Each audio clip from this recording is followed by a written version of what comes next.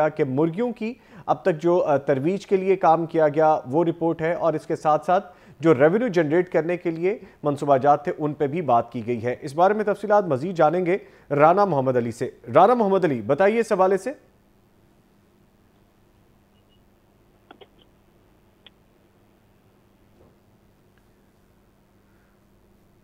राना मोहम्मद अली से भी जानने की कोशिश करेंगे। अभी आपको बता रहे हैं कि पंजाब हुकूमत की सौ रोज़ा कारकर्दगी की ये तकरीब है। वज़ी अजम इमरान खान तकरीब में शिरकत के लिए लाहौर पहुँच गए हैं।